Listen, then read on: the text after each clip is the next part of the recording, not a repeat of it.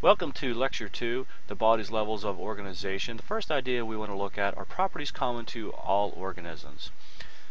Number one, they all exhibit complex organization and order. That is, they are all arranged in such a way that they can carry out everyday functions. Second one is they all engage in metabolism. Now, metabolism is the sum of all chemical re reactions that occur within the body. It is composed of anabolism and catabolism. Anabolism is using small molecules, joining them together to form larger ones. Catabolism is taking large molecules, breaking them down into smaller ones that usually releases energy for the body to use. Another characteristic is that they all grow and develop. Now, notice that growth and development are two different things. An example would be a child will grow from birth until puberty. They are simply increasing in size. Whereas development is taking and increasing in specialization. That child will go through puberty and specialize and develop their reproductive structures. Another one is that all exhibit responsiveness. They can sense and react to stimuli.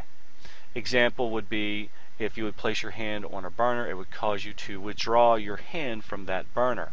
Now, this stimuli can be external to the body. It can also be internal, such as a increase or decrease in blood pressure. They exhibit regulation. The organism will adjust their bodily functions to those environmental changes. Now, this exhibits the idea of homeostasis. Homeostasis is a very important idea in all organisms, whether it be plant or animal or bacteria. It is simply that the organism has the ability to detect stimuli and then react to those stimuli in order to maintain a steady state.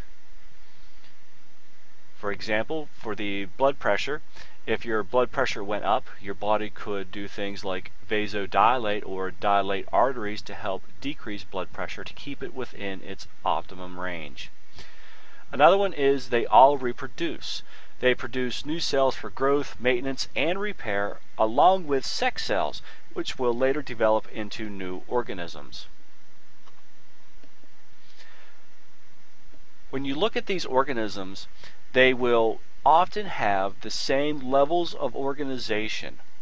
For example, a human and a pig have the same levels of organization from chemical to organismal.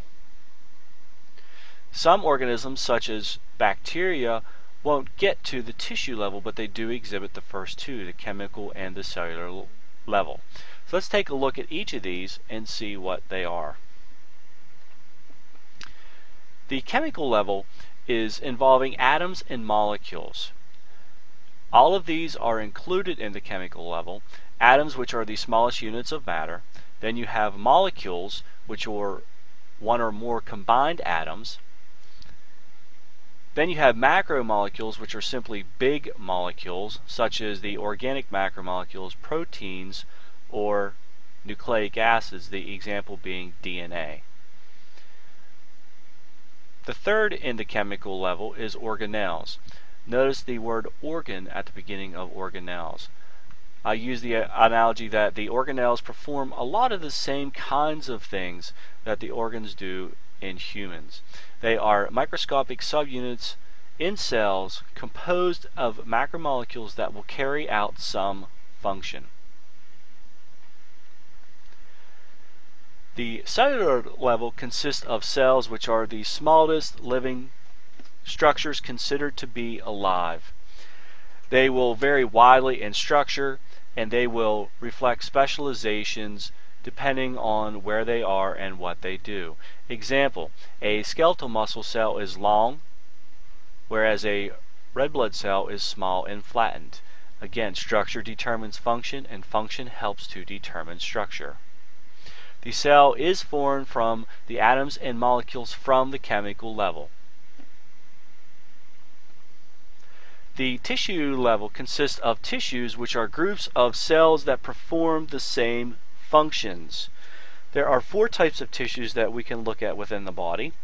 They are the epithelial tissue, which covers exposed surfaces and is used for lining body cavities, the connective tissue, which protects, supports, and binds structures and organs together. We have the muscle tissue, which produces movement, and the nervous tissue, which conducts nerve impulses.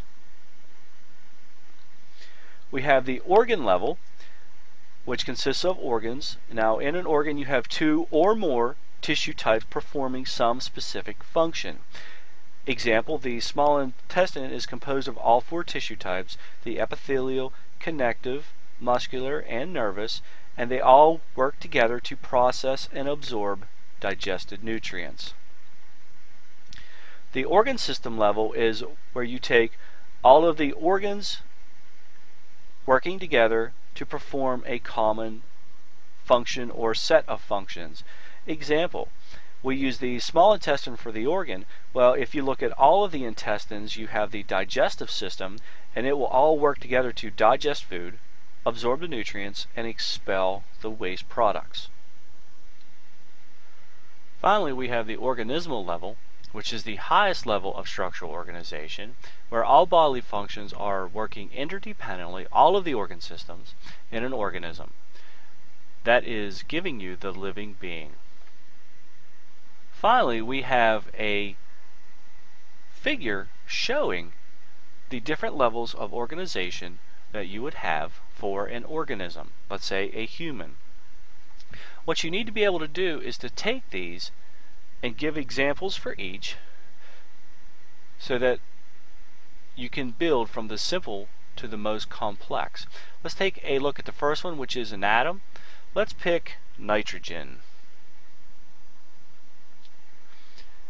We can combine it with other atoms to form a molecule such as NH2. They will work together to build DNA. DNA will help code, or it holds the genetic information to make the Golgi apparatus. The Golgi apparatus will function within the cells to help make and package macromolecules. The cells you can find within the tissues themselves, such as epithelial tissue and connective tissue. Then you have the organ, in this case the small intestine, that is doing its specific job within the digestive system, which is to break down and absorb nutrients. Then you have all of the organs working together to perform a very unique function to break down, absorb, and eliminate waste. When all of these systems are working together, you get the organism, which is you.